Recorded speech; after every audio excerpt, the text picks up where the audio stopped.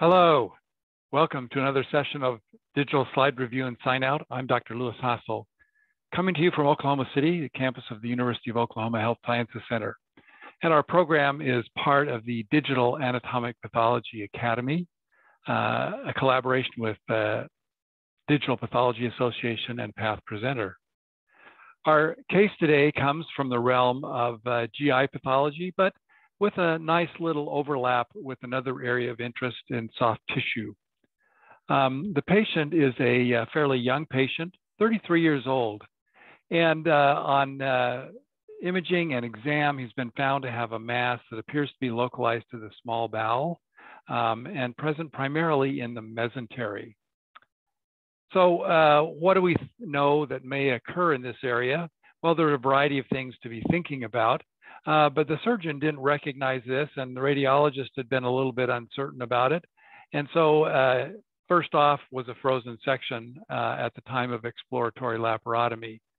Uh, here we can see a rather pale uh, tumor, a little bit of blue, and a few little clusters of inflammatory cells.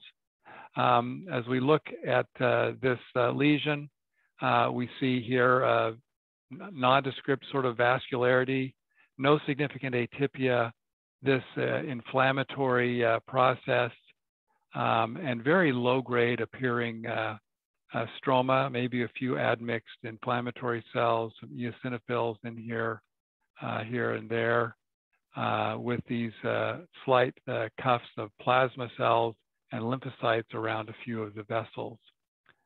Uh, so frozen section diagnosis was rendered as a low-grade fibromyxoid lesion.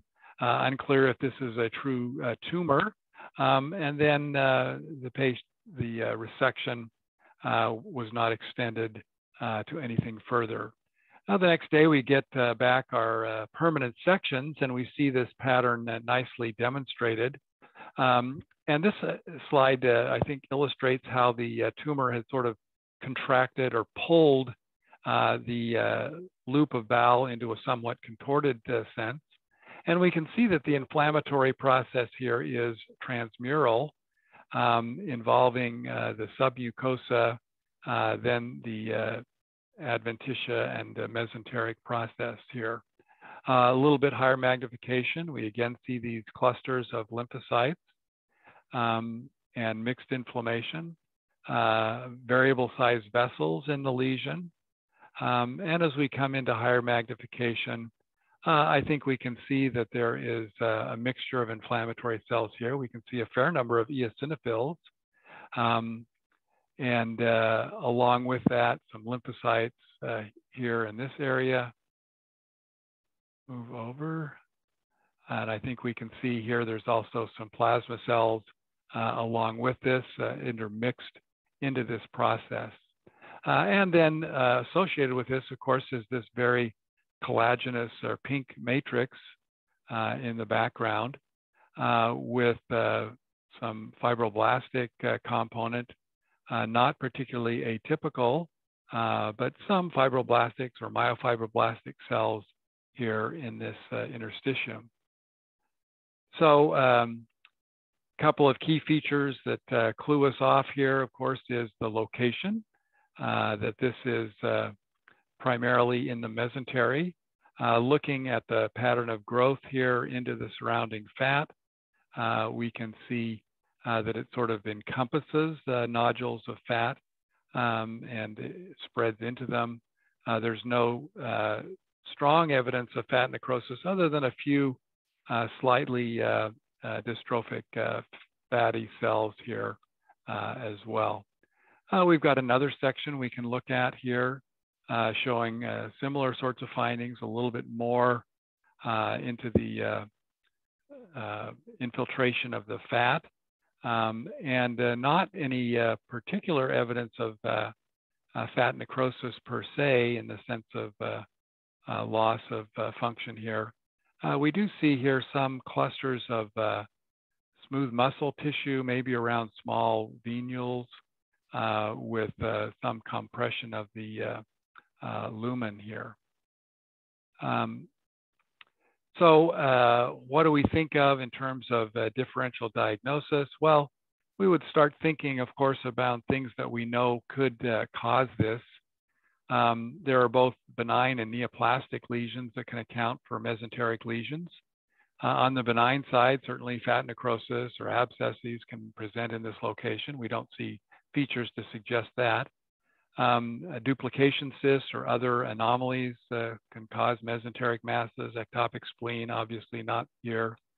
Sclerosing mesenteritis is a possibility, along with uh, tuberculosis or other infectious etiologies. On the neoplastic side of things, uh, most frequently, certainly, we would see uh, metastatic neuroendocrine tumors uh, presenting as mesenteric masses in some situations. GI stromal tumors, uh, although those usually involve the uh, wall proper, uh, but may extend into the mesentery. desmoid or fibromatosis is a very um, significant lesion that can involve the mesentery. And I think we presented a similar case from the GYN tract not too long ago. Uh, inflammatory myofibroblastic tumor is another lesion that can involve the adventitial area.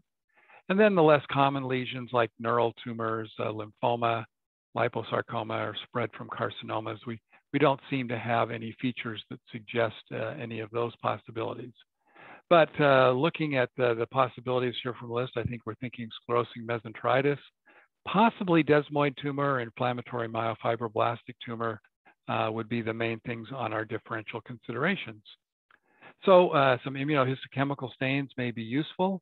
Uh, here is an example of an ALK uh, stain, uh, which uh, in this situation is nicely negative. We don't see any staining other than this pale background staining in any of the stromal cells or other tumor cells. And of course, the control internal controls and the secondary controls on the slide were appropriate. Uh, we also uh, looked at uh, beta-catenin, um, and here we have a little higher background uh, appearance, but as we uh, are looking in beta-catenin, uh, we want to find nuclear positivity in the, the myofibroblastic or stromal type cells, and we really don't see any of that here. There are a few scattered positive cells with maybe non-specific um, uh, uh, oxidases, peroxides, or so forth that uh, would stain the uh, reagent, uh, but no uh, true immunomarking of the nuclei. So beta-catenin is negative. we can also compare these slides to known examples. Um, so here's an example, a reference example from our files of a uh, fibromatosis. And we see this is a much more collagenous lesion uh, that seems to involve the outer portions of the uh, bowel wall. Um, and we don't see much in the way of inflammation. We certainly don't have a myxoid change. We don't have that myofibroblastic look. It's very collagenous and very low grade spindle appearing type of lesion. So uh, maybe not entirely typical of every case of fibromatosis because they can be variable in cellularity, but they do have a very collagenized uh, appearance. Um, also, uh, a reference example of uh, inflammatory myofibroblastic tumor. I'll just give you a, a, quick look at this. Here we don't see any of that lymphocytic uh, clustering. Uh, we don't see the mixture of inflammatory cells, but we do see these uh, fairly low-grade, loose spindle-shaped cells, sort of almost in a tissue culture culture-like fashion. Um, not much atypia, but some mild variability, and then some extravasated red cells, uh, and maybe a few inflammatory cells along with this. And as we indicated, many of these cases would be ALK positive uh, as a useful positive marker, a negative marker, less useful um, uh, in the sense that the negative predictive value is not as high because the uh, sensitivity of ALK for this lesion is uh, only about 60 or 70 percent. So uh, we devolved upon the final diagnosis of sclerosing mesenteritis. Um, in understanding this disease, it's not a common disorder, but it's usually uh, found incidentally and typically has a fairly stable disease pattern. It's not a progressive uh, fatal kind of disease in most cases, although there have been um, fatalities associated with this. Uh, very non-specific presentation, mass effect, pain, uh, and oftentimes these patients will have elevated inflammatory markers, whether that's uh, C-reactive protein or immunoglobulins or decreased albumin or other sorts of things. And radiographically, they have this uh, catchphrase of the so-called misty mesentery. Um, uh, they may also find fat necrosis or ele elements of fibrosis and some sort of a mass effect. These are usually single, but maybe occasionally will be multiple. Um, and histologically, we can see fat necrosis, uh, varying degrees of fibrosis, and of course, this mixed inflammatory pattern. Now, I pointed out the uh, plasma cells in our case. Uh, this has prompted some observers to consider IgG4 related diseases. Um, and in some patients, this has been demonstrated uh, as a finding uh, in these uh, cases of uh, misty mesentery sclerosing mesenteritis, but not all cases. those studies on our patient are still pending, um, and we may do an addendum to this later on if need be. So our uh, final, uh, oh, before I, I leave that, uh, because this has a typically indolent presentation and radiographic presentation, uh, the management uh, typically does not bring it to surgery. Um, and so uh, uh this is a nice uh, view of the algorithm that is used by or advocated in the recent radiological journal, American College of Gastroenterology, um, that the CT scan is reviewed.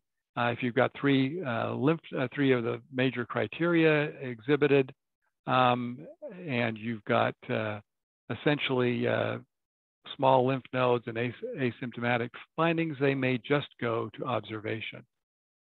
Um, and on the other hand, if they're symptomatic, then there may be uh, empiric treatment with uh, various uh, combinations of uh, immunosuppressives or prednisone um, with surgical intervention only in patients with persistent or recurrent disease. Uh, so I think that's uh, one of the important things to recognize is that this is not going to be a common uh, disorder coming across the surgical pathology bench. Well, thank you so much for joining us. Our final sign-out diagnosis today is sclerosing mesenteritis. Uh, and I was able to talk at least one colleague into agreeing with me on that diagnosis. Uh, we hope you enjoyed this case. Uh, and if you have encountered similar cases that you'll share your experience in the comments. Uh, or uh, please hit that subscribe button so you'll catch future releases from our uh, channel as well. Um, we hope you enjoyed this and uh, certainly uh, welcome you to come back and reach out to us directly if need be. Um, but until next time, thanks so much for being with us.